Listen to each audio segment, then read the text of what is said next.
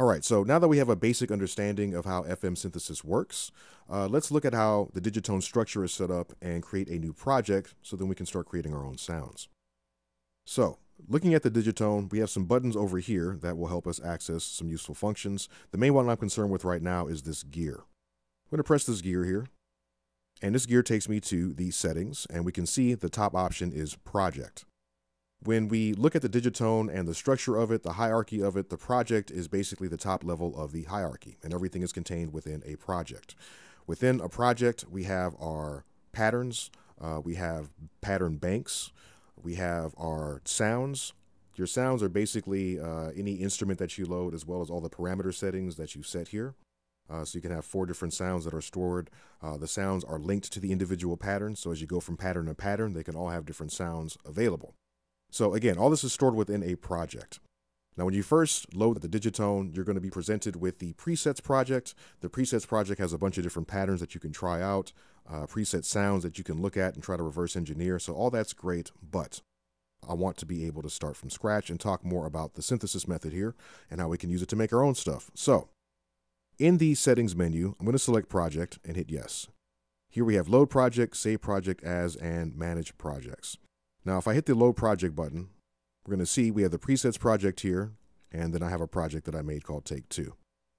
On your presets project, more than likely there is a lock there, and the lock is there so that you can't accidentally uh, erase or overwrite or basically just change the presets project.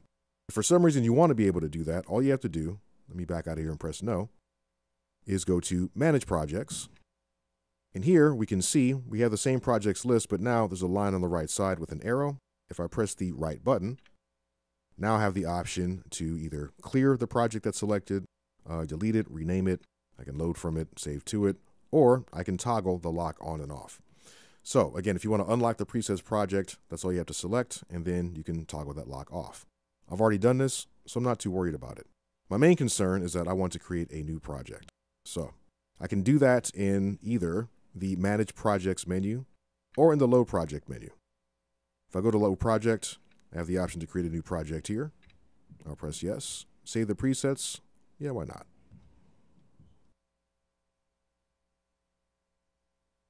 All right, so the project has been initialized, but I didn't get a chance to name the project. This is why I generally like to use manage projects in order to create a new project. I'm going to press yes here. I'm going to go here and now, if I initialize a new project from the Manage Projects option, I have the option to name it, which will be nice. So let's go ahead and name this. And we'll call this uh, Tut.